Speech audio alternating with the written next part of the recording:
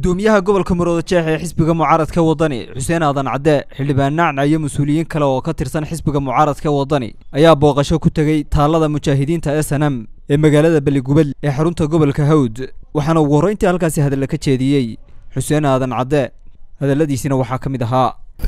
Waxaanu iminka taaganahay taaladii taaladii mujaahidiinta snm baanu taaganahay marka hore dhammaan waxaanu leenahay ilaahay naxariista jannaha ka waraabiyo intii dhimatay runtii haddaynu dib ugu yar noqono xilligii halkan la joogay haddaynu dib ugu noqono waa taariikh dheer weeyaan haddaynu dib ugu noqono oo dee muddo dheer baa ka soo wareegtay.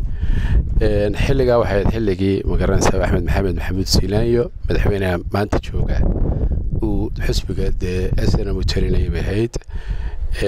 Maanta waxaa jooga gudoomiyaha xusbiga kulmiye ayaa jooga.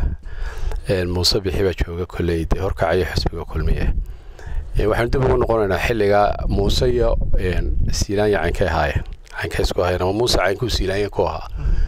Runtii cid badan dad badan way ogyihiin. Halkii laysla soo maray isigii saaxiibadii. Xanuunadooda badan ee ku dhacayna kolley wax ka mid buu ahaay waxyaabihii beriga ku dhacay bay ka mid ahaayeen. Haddaynu dib si haddana dib ugu sii noqonno xilligii uu xoghayaha gaashaandhigga ahaa jaamac cali cilmi.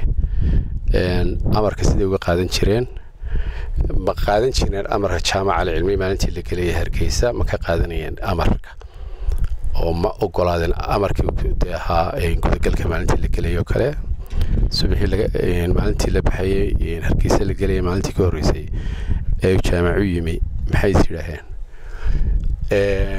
ta kale waxyaaba badan oo ayaa jira oo iminka taliska ama madaxda xusbiga kulmiye oo khaladaadoo badan ay soo galeen ayaa jira. Hadday madax ka soo galeen iyo hadday shacab ka galeenba way jiraan. Runtii waxa fiican ummaddeenna markaad waxu sheegayso in aad ama aada hoggaan u noqonayso inaad u sheegto wixii waddanka aad u qabanayso. Se ma habboona hebel yeeli mayno. Shacabkaa dadka u kala garqaadaya cidday maaragtay ay saarayaan kursiga iyo ciddii aanay saaraynin